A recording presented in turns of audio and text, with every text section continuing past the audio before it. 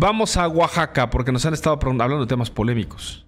Con 24 votos a favor y 10 en contra, el Congreso de Oaxaca aprobó ayer en lo general y en lo particular la despenalización del aborto hasta las 12 semanas de gestación, dejando a las mujeres pues en completa libertad en, en ese periodo de tiempo, hasta las 12 semanas de gestación, para decidir sobre su cuerpo. Por supuesto, esto no estuvo ausente de la polémica, de la división y de la polarización de posiciones y de posturas allá en Oaxaca.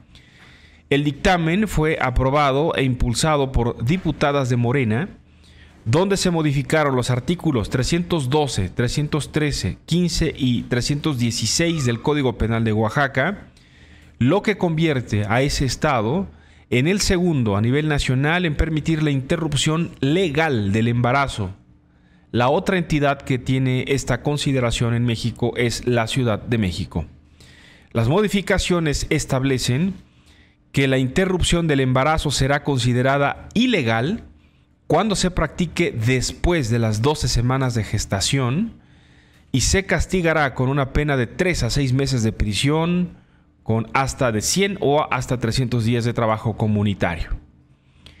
En Oaxaca se tiene el registro de por lo menos 9.000 abortos clandestinos al año. De acuerdo con el INEGI, 17% practicado en menores de 20 años y es el aborto la tercera causa de mortalidad materna en Oaxaca. Se informó también que hay 49 carpetas de investigación abiertas en la Fiscalía oaxaqueña por el delito de aborto y al menos 20 mujeres oaxaqueñas están en la cárcel por haberse practicado un aborto.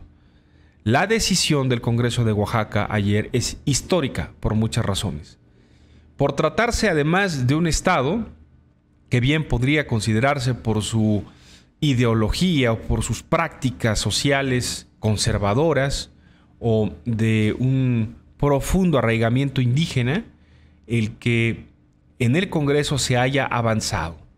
Y también significa el logro y el avance de una lucha de los colectivos de mujeres identificados con esta organización llamada Marea Verde, que lucharon ferozmente para que les fuera reconocido este derecho. No es un tema fácil, no solo en Oaxaca, en México, en el mundo. Es un asunto que se discute ferozmente. ¿Hasta dónde tiene la mujer el derecho de decidir si continúa o no el embarazo? ¿Hasta dónde el argumento de los grupos conservadores religiosos, o como le queramos decir, que defienden la vida y dicen un ser está vivo desde el momento que está concebido. Ahí la polémica. Y solo para tener una idea de el nivel de polarización y de la confrontación, el choque pues de posturas, vemos y escuchamos los sonidos de Oaxaca ayer.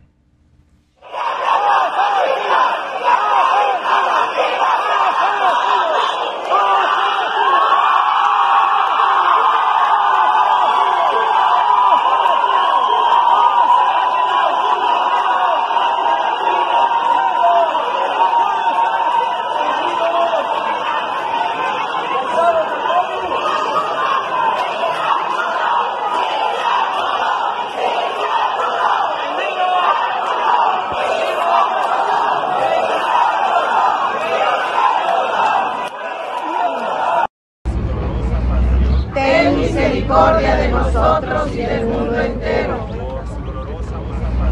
Ten misericordia de nosotros y del mundo entero.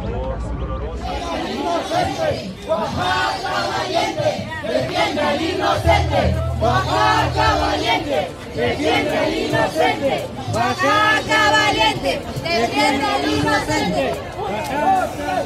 Tu papá dijo por eso estás aquí. Tu papá dijo así